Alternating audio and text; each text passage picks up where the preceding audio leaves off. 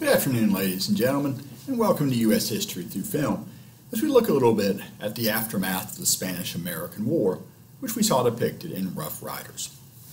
Now, besides invading Cuba, as shown in the movie, the U.S. Army also invaded Puerto Rico, where they faced stiff resistance from the Spanish, who would fight small battles and then retreat before they could be captured. However, many, though not all, Puerto Ricans supported the United States they believed were helping them win their independence. And, um, and the U.S. took over Puerto Rico as well. Fighting officially ended between the U.S. and Spain um, on August 12, 1898, and actually ended slightly after that. A peace treaty went into effect on April 11, 1899, almost precisely one year after war had been declared.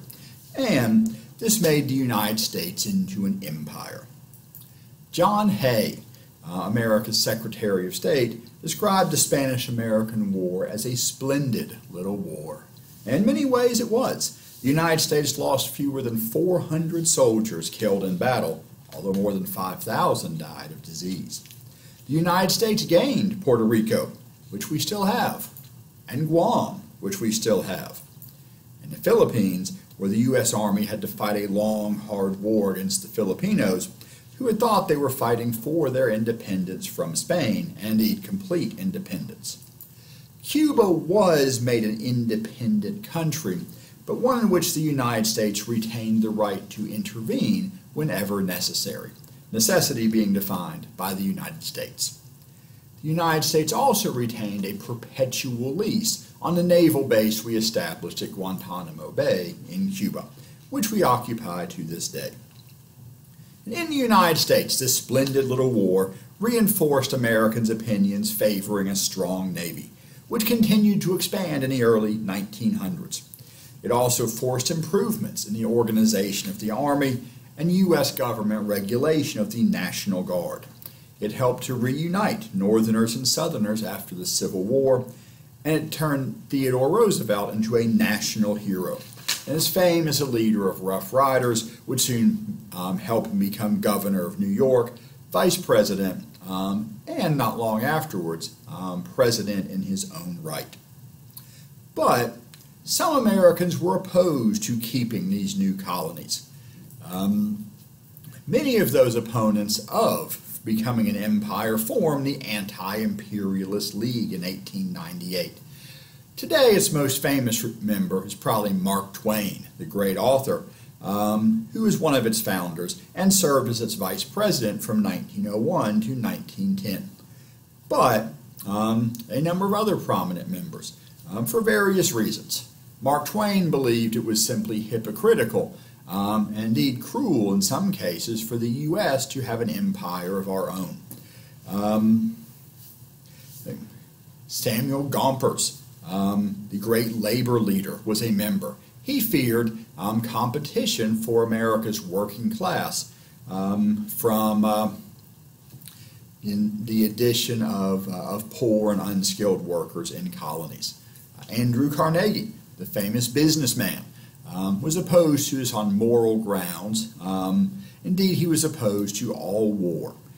Former President um, Grover Cleveland believed this was immoral and, uh, and worried about changes to the composition of America's population and exposure um, to war with other empires.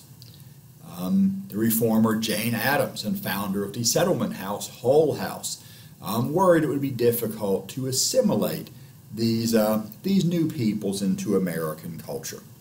But as famous as and prominent as all these people were in their day, and to some extent still are, um, probably the most influential of all at the time was William Jennings Bryan, who, uh, who had run for president unsuccessfully based on his economic policy of free silver in 1896. In 1900 would make anti-imperialism part of his platform in a second unsuccessful attempt at the presidency.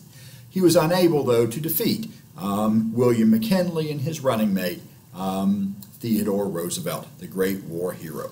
Most Americans were proud of uh, the victory in the war, which did make America very clearly uh, a major world power. But the anti-imperialists did win one victory in Congress when the U.S. declared war on Spain, anti-imperialists inserted the Teller Amendment into that declaration. And this amendment um, guaranteed Cuba, at least, would not be annexed to the United States if conquered. And Cuba did remain an independent republic, but when Congress passed another law pulling American troops out of Cuba in 1902, that law was amended by the Platt Amendment, in which the United States um, specifically retained the right to intervene in Cuban foreign and domestic affairs whenever necessary. Um, if they ever needed help, the United States could send it. Um, and it would be the U.S. who determined if they needed help. And by help, I usually mean the Marine Corps. The um, main points were protection of American property in Cuba and preferential trade agreements between the two countries. Um, and uh, to enforce this, the U.S. would send Marines into Cuba several times um, provoking resentment in Cuba. And of course, the Philippines had been easier to conquer than to occupy. During the Spanish American War, Emilio Aguinaldo um, had led Philippine guerrillas against the Spanish, um, under the belief the U.S. would support Philippine independence once the Spanish were driven out. And when the Spanish surrendered, Aguinaldo helped to create a Philippine republic and was chosen as its first president. But the United States did not recognize the Philippine Declaration of Independence, and soon fighting broke out in what's often known as the Philippine Insurrection or the Philippine American War. Some fighting began in 1898. Um, the uprising began seriously in 1899. Um, and many Americans who had just fought in Cuba now went to fight in the Philippines. Black Jack Pershing would serve in the Philippines, as would Fred Funston uh, and Joe Wheeler. Um, the Filipinos fought a guerrilla war, attacking out of the jungles and out of villages, often hitting the U.S. Army behind our own lines. The U.S. responded um, with equal cruelty under the command of military governor General Arthur MacArthur, a decorated Civil War veteran. And during the Philippine insurrection, both sides fought in the most brutal fashion they could, including torturing prisoners. You don't want to be captured by the Filipinos. They might bury you alive, or almost bury you alive, up to your neck in an ant hill to be slowly devoured, or tied to a tree next to an ant hill with your stomach cut open and marmalade spread on your exposed bowels. The ants would eat the marmalade, then your intestines, and then work in from there. Some American soldiers were castrated and removed parts stuffed into their mouths so they did not die of pain or shock um, or blood loss, they would die of suffocation on themselves. Some were released after first being exposed to other prisoners known to have leprosy or other diseases in the hopes they would spread those diseases to their comrades. Spanish priests who often supported the U.S. control. The Philippines were sometimes mutilated right in front of their own congregations in the church, as did other Filipinos who refused to support the insurrection. Now, American soldiers often simply shot surrendering Filipinos, or sometimes gave them the water cure, um, putting a funnel in their mouth and pouring water down their throat until their stomachs or their bladders burst. Um, other Filipinos, both guerrillas and civilians, were placed in concentration camps, as the Spanish had done in Cuba and the British had done to the Boers in South Africa even earlier. A few American officers were eventually tried in courts martial for their actions. Many captured Filipino leaders were executed, um, and executed in a Spanish style, which is to say they were strangled to death with a rope but many perpetrators of war crimes on both sides went unpunished.